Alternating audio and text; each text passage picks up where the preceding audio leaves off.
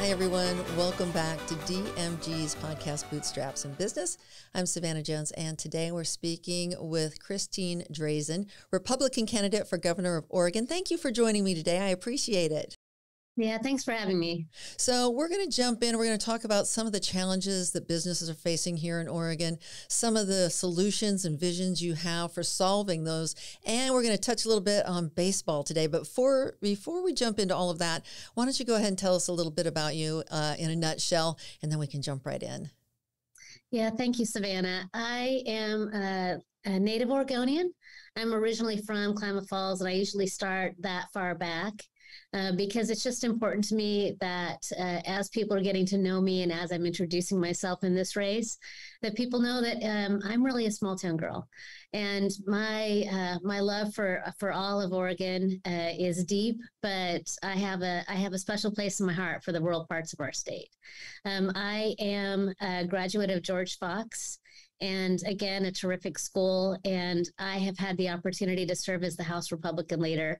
That's the that's the resume version of what i'm about but i think what oregonians need to know in this race is that I'm in this because I want to make life better for Oregonians. I want to improve quality of life no matter who you are, no matter what your party affiliation is, no matter what part of the state you live in. There's a very real opportunity right now uh, for us to actually choose a different direction for our state and to begin to solve these problems that we've been facing in a way that um, that doesn't leave people behind and and has uh, the ability to be a long-term solution when we work together. So I'm I'm grateful to be in this race and I appreciate the opportunity to to be on today. Well, let's talk about what you see and what you hear are challenges that Oregon businesses are facing right now. Like what are the top issues that you are hearing most about? Yeah, everybody talks to me about certainty.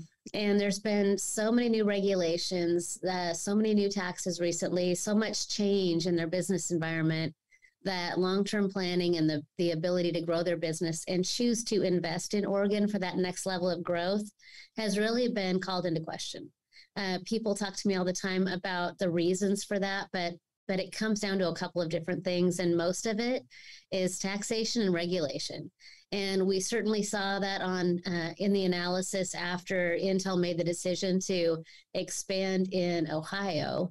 That um, that they they took a look at what some of those factors were. Certainly, land use was one of them, but they also had real concerns about their ability, ability to invest in Oregon at that level and and have any certainty at all about the tax environment uh, or the regulatory environment they'd be facing. That's across sectors.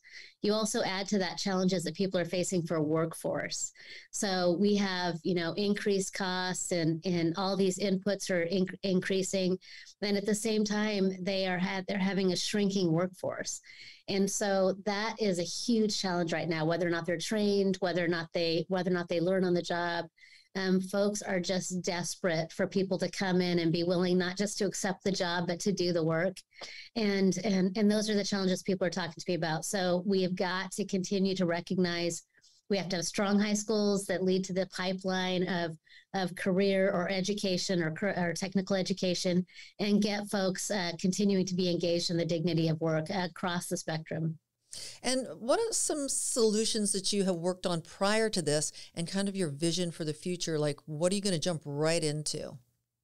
Yeah, the first thing we'll do in the first 100 days is to review rules and regulations that are that are impacting our state and that is going to be a really critical uh, critical undertaking. We we know that our that the current uh, administration has taken an approach to government that says we want businesses to do exactly what we say in a way that isn't just about safety. It isn't just about you know uh, aligning with non-discrimination or whatever the standard might be but it really is about a political approach to business that says businesses in fact aren't going to serve their employees well and they're not going to serve the public well and they're not going to do right by the environment well i don't look at it that way um, but the heavy-handed approach to our business has been primarily through rules and regulations. So I will, you know, tear up Kate Brown's executive order on cap and trade on day one to ensure that that we that we don't harm businesses long term and that we're not taking on an undue responsibility for our part of the climate challenge that we're under. Um, Oregon is a very green state, and we're already doing our part there. Uh, businesses and families shouldn't have to bear the brunt of that. So we're talking rules and regulations, and uh, and and certainly will veto any new tax increases. But we've got to support education. We've got to roll back rules rules and regulations. And specifically, Portland obviously is a money generator here in Oregon. Um, a lot of businesses downtown having issues with crime and homeless uh, situations. Uh, what does that look like? Yeah, I ha- I am committed to declaring a homelessness state of emergency. Now, the reason I'm taking that approach is because it allows me to align resources at a state level to support local uh, local efforts, and so and it allows me to align investments at a state level as well. And so we have right now. We all know it's a crisis. We know it's an emergency, but what we haven't had is a state level leadership on this issue. We've really kicked it down the road to local local leaders to bear the brunt of having to navigate this challenge and this crisis. They haven't had enough support from the state. All they've gotten from the state are mandates. I mean, my opponent in this race, Tina Kotek, uh, was uh, was was the brains behind the legalization of tent camping. It doesn't make any sense. It doesn't improve quality of life for anyone, and in fact, it doesn't offer dignity to the people that are living on our streets. But that was her response, and so we have we have to increase, continue to increase access to bed space. We have to continue to increase access to supportive housing, wraparound services, all of the all of the compassionate part of this we have to do.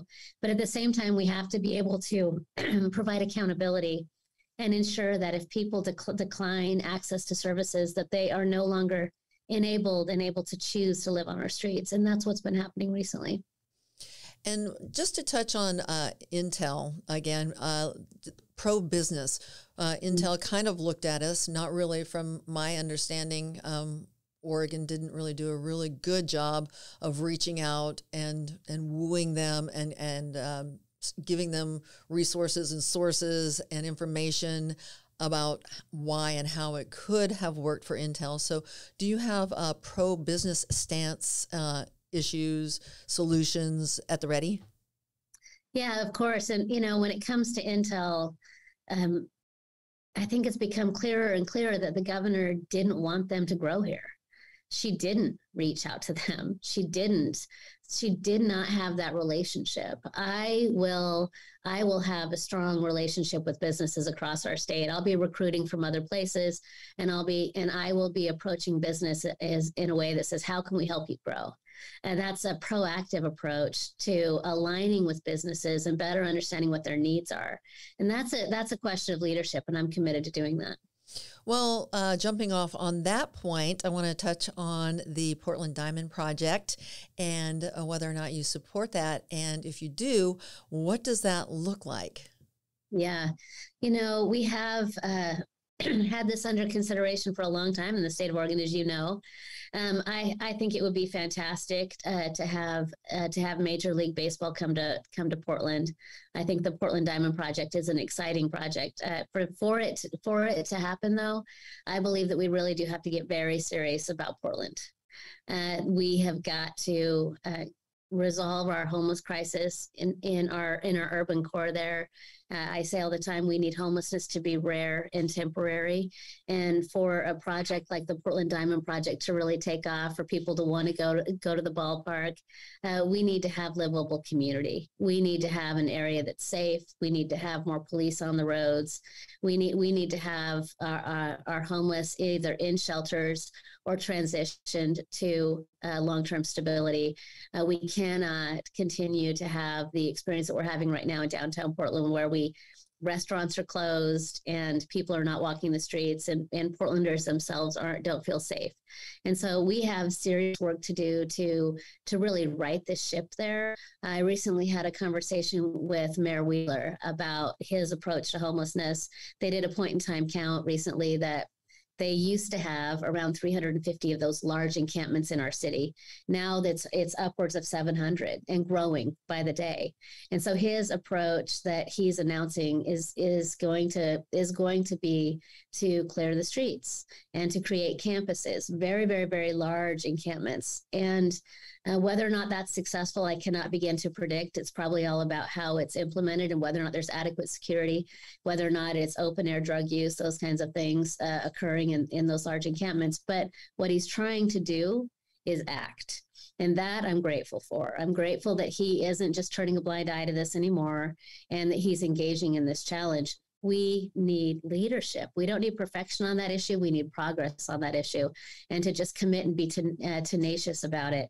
And so, you know, when it when it comes to uh, an undertaking uh, like bringing Major League Baseball to Portland, it's exciting. I, I believe that uh, that Oregon Oregon would be a terrific market uh, for baseball, and and it would and it would and it would certainly add value to our state and our community.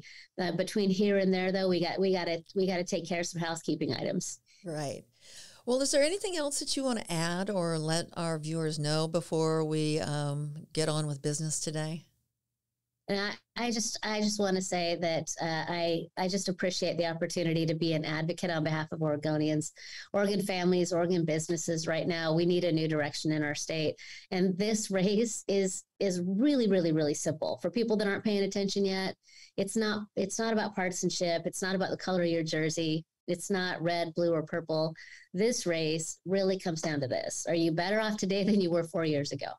And if the answer is yes, then you have two choices. Like you can kind of pick your flavor. There's two status quo folks that are lifelong Democrats that just absolutely would continue into a third term of Kate Brown. But if you want change, if you want our state to really go in a new direction, I'm asking Oregonians to do something that they haven't done in a while.